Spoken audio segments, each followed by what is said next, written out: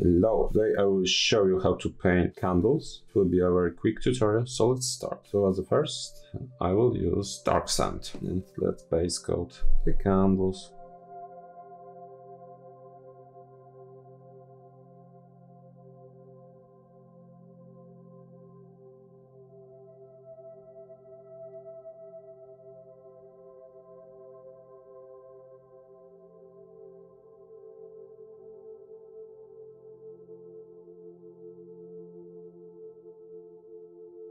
Okay, so color, first color is painted. Now I will use Aggaros Dunes. I've never used this contrast paint.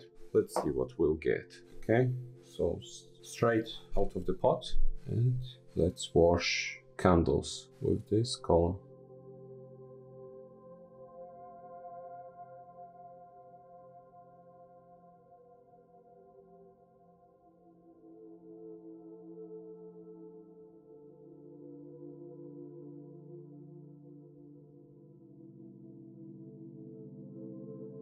Alright, let's wait until it's dry.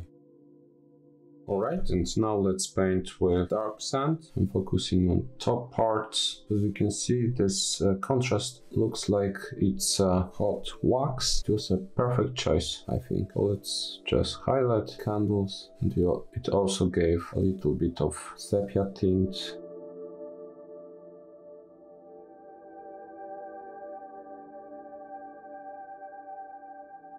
I mix a little bit of Aggaros Dunes with dark sand and just paint that over the dark areas. On the top of the candles I use pure dark sand.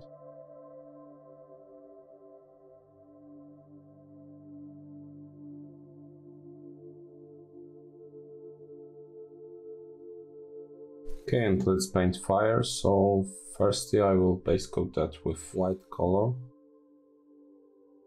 and now I use gold yellow from Vallejo Game Color. I base coated that with white because it will be easier to paint with yellow color over the white base coat. If you want to paint yellow color over the black base coat, it will be very hard.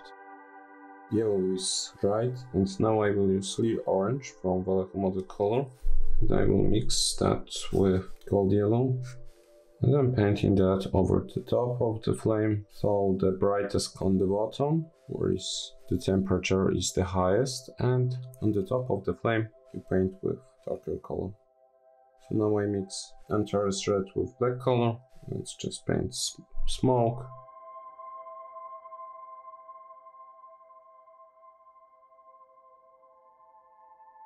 Let's use once again clear orange to glaze and smooth the transition.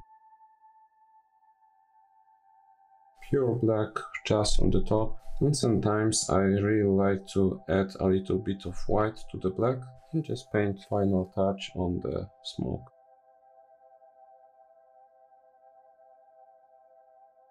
Alright, so the candles are done, or those knots I painted with black color and white, so it's easy.